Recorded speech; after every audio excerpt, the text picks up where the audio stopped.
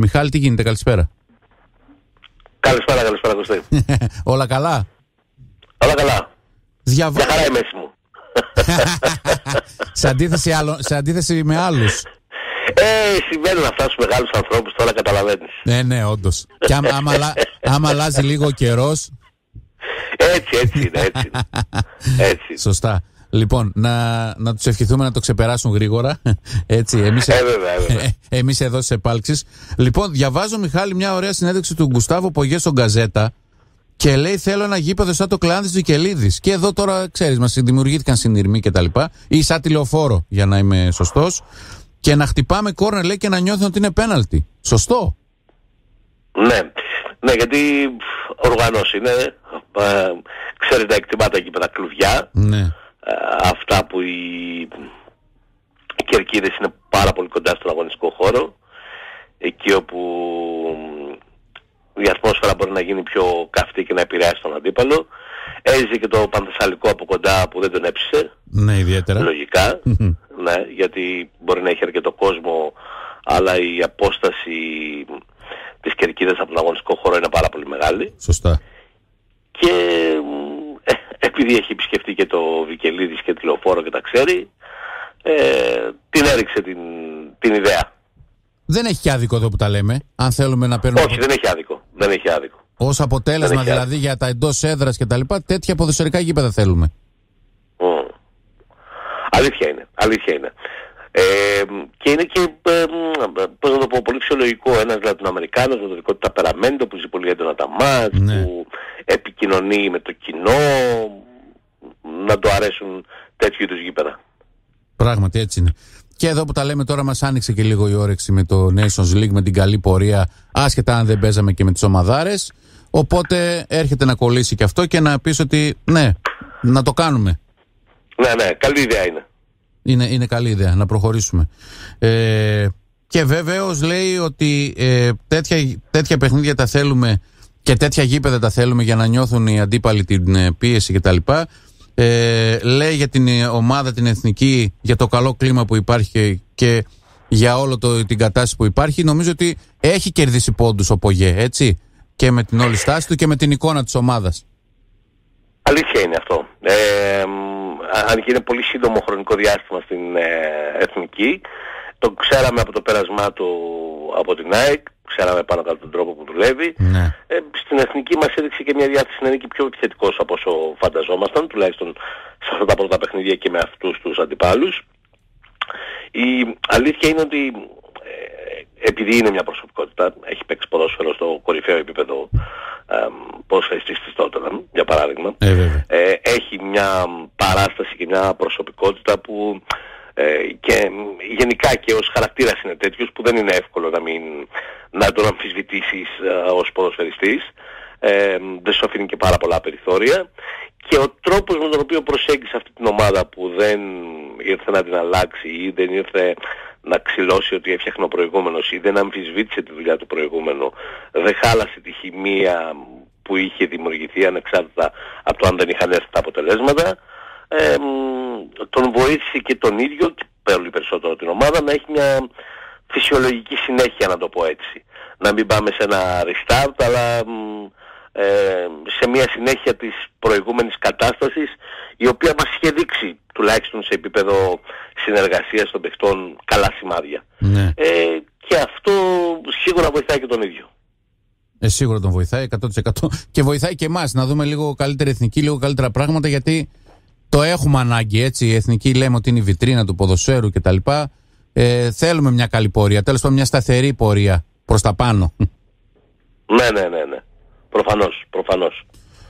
Έτσι είναι τα πράγματα. Λοιπόν, τώρα καθημερινότητα, μεταγραφές ε, και στην Αθήνα και στη Θεσσαλονίκη. Διαβάζω από εδώ, από εκεί, ονόματα, πήγαινε, έλα.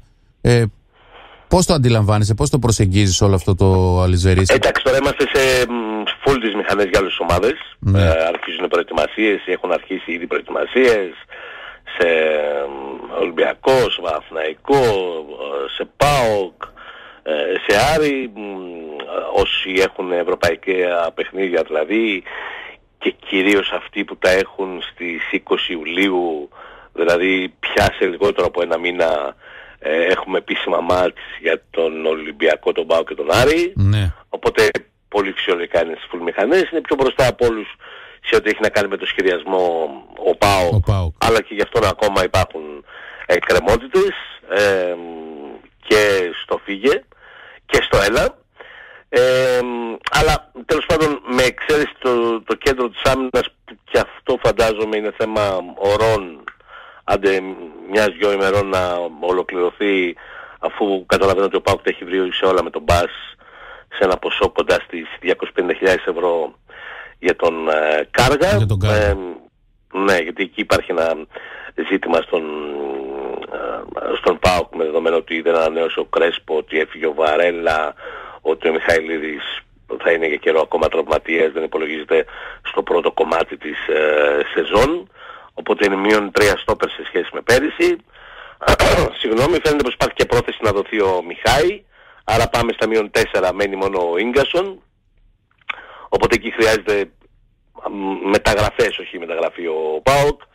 Ε, είναι κλεισμένος μ, ε, ο Νορβηγός, κόλλησα τώρα μ, Από τη Βαλερέγκα. Ο Νάσμπεργκ. από τη Βαλερέγκα, Ο το Νας- όνομά του που στο θα Ο, θυμηθώ. ο Νάσμπεργκ. Ο Νάσμπεργκ, μπράβο. Ε, είναι κλεισμένος μόνο ο Νάσμπεργκ, οπότε εκεί χρειαζόταν ενίσχυση και ποιοτική και αριθμητική ο ΠΑΟΚ. Φαίνεται ότι η ιστορία με τον Ρέντε και τη Χέρακλες τράβηξε πάρα πολύ. Μάλλον έχει εκνευρίσει και τον Μπότο η στάση της Χέρακλες Ε, και ναι.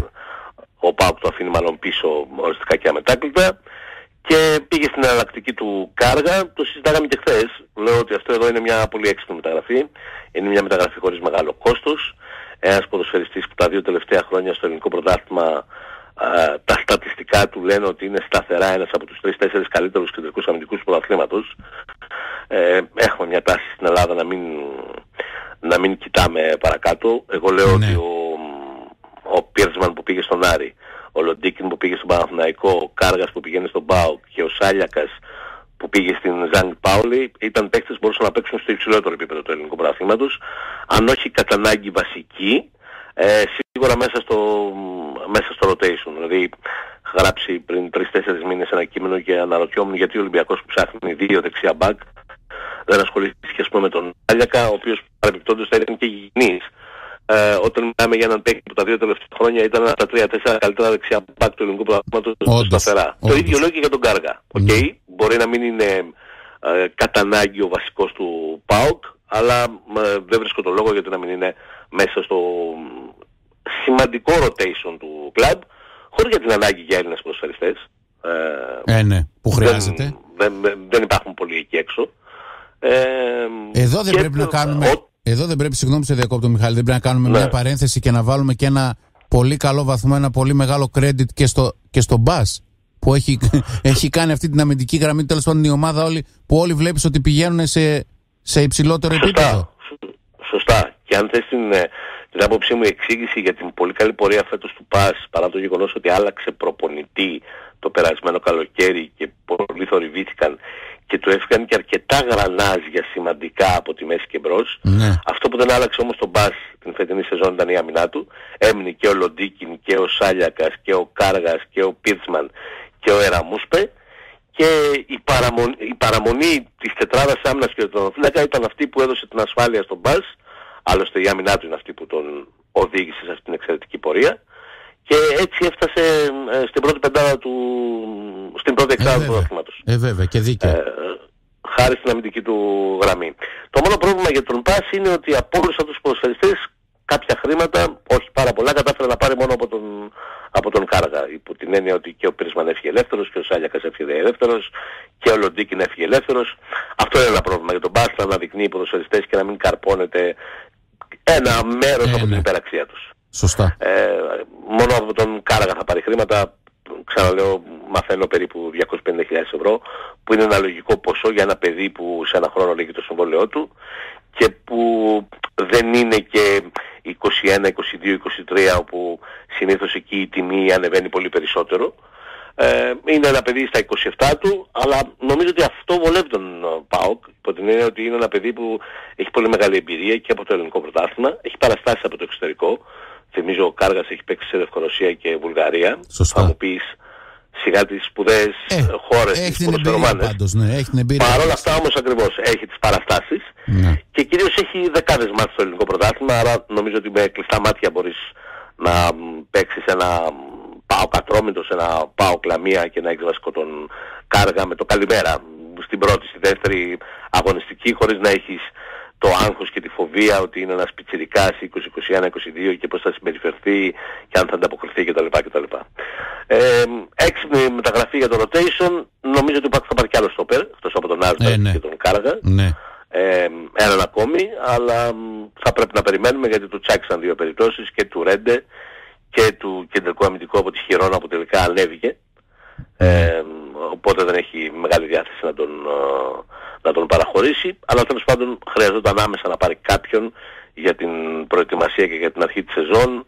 Ε, τώρα έχει τρεις α, με Νάσμπρεκ, Ίγκασον και ε, Κάργα και μ, όσο είναι εκεί ο Κόμο Μιχάη ε, ξεκινάει με τέσσερις στην προετοιμασία οπότε μ, ο αριθμός είναι ε, ικανοποιητικός μ, για να δουλέψεις ε, κανονικά και να μην έχεις προβλήματα. Και από, ό,τι λέει, και από ό,τι λέει το ρεπορτάζ τώρα βλέπω ότι προχωράει, αν δεν έχει ήδη προχωρήσει, το είπε και ο Κώστας Βασιλόπουλος νωρίτερα στην εκπομπή, στην προηγούμενη εκπομπή, στη full επίθεση, αυτή η υπόθεση του νεαρού, του Πορτογάλου, του, του Τιάγκο Ντάντας, Ντάντα- Τάντας. του Τιάγκο Ντάντας, ο οποίος λέγεται ότι έχει κλείσει και ότι απομένει να καθοριστεί μόνο το ύψος της οψιών, δανεικός από την ε, Μπενφίκα στον ε, ΠΑΟΚ και λένε οι πληροφορίες από την Πορτογαλία, Μιχάλη, τον ήθελε πολύ ο Μπότο. Κάτι πρέπει να έχει δει σε αυτό το παιδί. Αλήθεια είναι γιατί ο Μπότο τις κοιτάει πάρα πολύ τις μικρές ηλικίες και ειδικά τους ποδοσφαιριστές που ξεχωρίζουν με τις εθνικές ομάδες κάτω των 21. Αυτό το παιδί με την εθνική ομάδα της Πορτογαλίας ε, κάτω των 21 κάνει θράψη.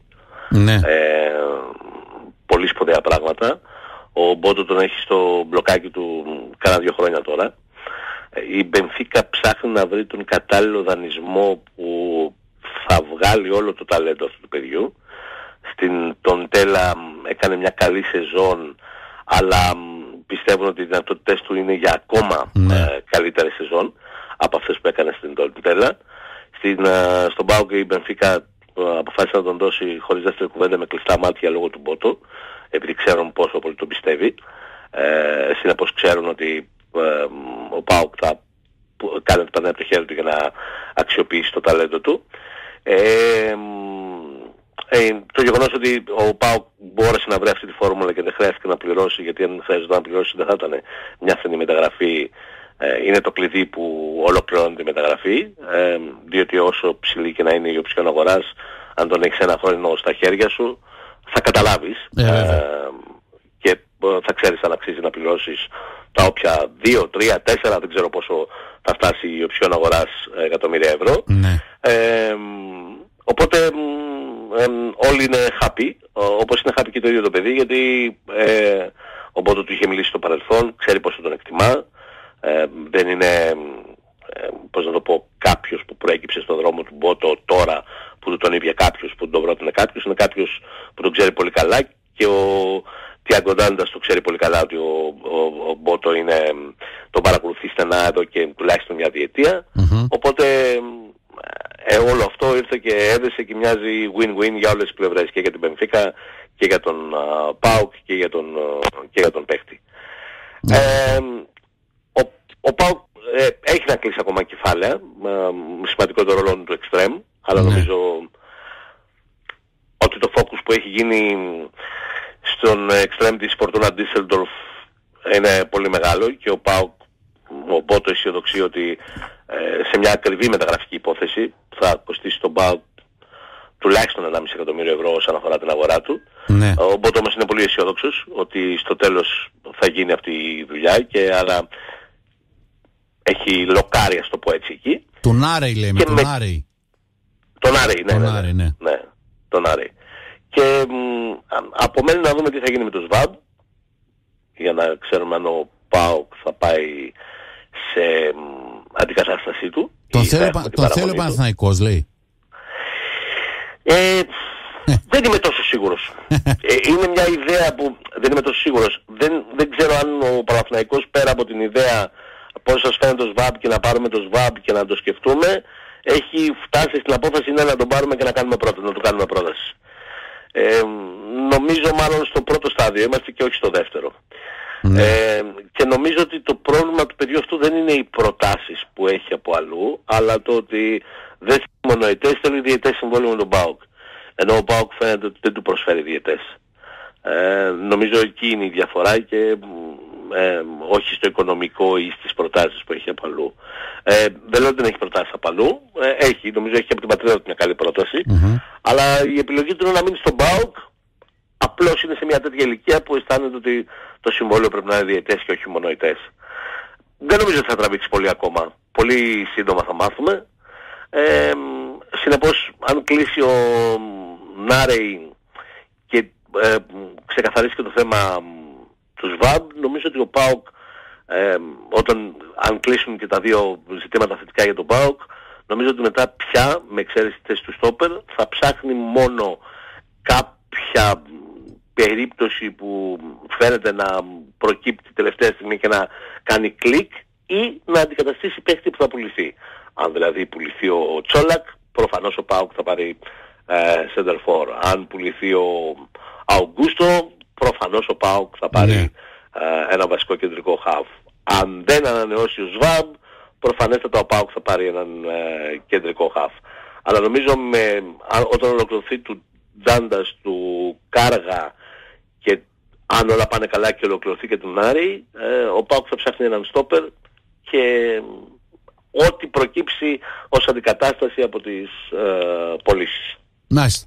Στην Αθήνα τι γίνεται από κινητικότητα, κάτι με η ΑΕΚ βλέπω κάτι προσπαθεί να κάνει τώρα, ενώ τις τελευταίες μέρες δεν είχε κάτι ιδιαίτερο. Εμφανίστηκαν δύο ναι. ονόμα, τρία εμφανίστηκαν τρία για την ακρίβεια, αλλά ο ναι. Πλάνιτς της Μακάμπη φαίνεται πως δεν απασχολεί την ΑΕΚ ε, ή τουλάχιστον δεν είναι σε καμία περίπτωση σε προτεραιότητα για την ε, ΑΕΚ. Ε, είναι δύο άλλα παιδιά όμως, ε, ένας κεντρικός αμυντικός της Αχτάρ, τον οποίο παρεπιπτόντως σίγουρα ξέρει καλά ο, Χομπότο, ε, ένα παιδί που, πώς να το πω, το είχε στην Σαχτάρ ε, αγοράζοντάς το με 4 εκατομμύρια ευρώ ε, στα 19 του από την ε, Βραζιλία από αυτές τις περιπτώσεις που ο Μπότο στους πιτσιρικάδες ναι. ξέρει να ξεχωρίζει πολύ εύκολα. Ε, νομίζω ότι δεν είναι εύκολη περίπτωση, αλλά η ΑΕΚ την κυνηγάει. Πιο εύκολη περίπτωση είναι του ε, Γιόνσον, ενός δανού κεντρικού χαφ που έμεινε ελεύθερος από την ε, ε ναι. και τον οποίο ξέρει ο Αλμέιδα, έχει δει αρκετά και αυτή φαίνεται πιο εύκολη περίπτωση γιατί ξαναλέω είναι ελεύθερος. Παίζει κεντρικό χαφ και η ΑΕΚ επιβεβαιώνει ότι ε, είναι μέσα στην λίστα των παιχτών που την ενδιαφέρουν. Ε, η ΑΕΚ θα πάει πιο αργά σε σχέση με τους υπόλοιπους γιατί είναι και μόνη από τους μεγάλους που δεν έχει ευρωπαϊκές υποχρεώσεις. Δεν έχει Ευρώπη, ναι. Να. Ε, στον Ολυμπιακό ολοκληρώνεται το, η μεταγραφή του Ζίνκερ Νάγκελ ενός δανού εξτρέμ θα κοστίσει περίπου στον Ολυμπιακό 2 εκατομμύρια ευρώ να τον αγοράσει από την Watford έπαιζε δανεικός πέρυσι στην uh, Nottingham Forest, τον είχε δει αρκετές φορές ο Πέτρο Μαρτίνς. Ναι. Ε, η Nottingham δεν τον κράτησε γιατί ο προπονητής θέλει κάτι ακόμη πιο ποιοτικό για την Premier League, αλλά άνθρωποι του Ολυμπιακού που είναι και στον Ολυμπιακό και στην Nottingham τον είχαν σε πολύ μεγάλη εκτίμηση σε όλη τη διάρκεια της χρονιάς.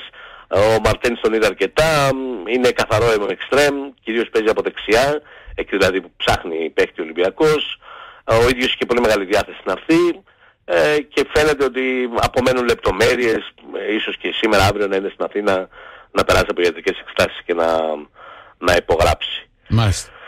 Ε, και στον Άρη εκεί ε, εξακολουθούν να φεύγουν πολύ. Έφυγε και ο Ενδιαγέ. Ναι. Ε, ο Τζιόπ ήρθε για να τον αντικαταστήσει προφανέστατα είναι μια περίπτωση ποδοσφαιριστή από αυτές που του αρέσει ο Άρης να ποντάρει. Δηλαδή ποδοσφαιριστές που είχαν πολύ μεγάλη χρηματιστηριακή αξία, έκαναν μεταγραφή ύψους 10 εκατομμυρίων ευρώ θυμίζω πριν τρία χρόνια στη Λιόν. Ε, αλλά κάπου τον έχασε τον δρόμο. Ο ναι. Άρης πιστεύει ότι στα δικά του χέρια και παίζοντας βασικός μπορεί να αναγεννηθεί. Δεν είναι μια απλή συμφωνία, ούτε ένα απλό συμβόλαιο. Θα είναι ένα από τα μεγάλα συμβόλαια του φετινού Άριο Τζιόπ, αλλά από την άλλη ε, ήδη έχει λύσει αρκετά υψηλά συμβόλαια. Του Ενδιαγέ, ας πούμε, που ήταν το δεύτερο μεγαλύτερο συμβόλαιο του φετινή σεζόν μετά του Καμαρά, Ναι. ε, λύθηκε. Θα συνεχίσει την καριέρα του στην Τουρκία. Ο Άρης ε, πρέπει να τρέξει. Ε, ναι, Τζιόπ, ναι, Καμάτσο, αλλά ε, ναι, Πίρσμαν. Αυτές είναι οι τρεις μεταγραφές Οι που έχει κάνει. μεταγραφές, ναι. Ναι, αλλά χρειάζεται 4-5 ακόμα μέσα σε επόμενη μια εβδομάδα, 10 μέρες για να έχει ένα διαμορφωμένο ρόστερ με το οποίο θα πάει να παίξει τα πρώτα δύο μάτς με την, ε, με την Γκόμελ γιατί πια αγγίζουμε τον διψήφιο αριθμό των ποδοσφαιριστών που έφυγαν από την ομάδα. Μάλιστα. Ωραία, Μιχάλη, σε ευχαριστούμε πολύ για το σχόλιο. Θα τα πούμε και αύριο βεβαίως. Ελπίζω να είμαστε full roster αυτή τη φορά. να είσαι καλά και ό,τι νεότερο υπάρχει θα ξαναμιλήσουμε. Ευχαριστούμε πολύ. Επίσης, επίσης, καλή συνέχεια. Καλή συνέχεια.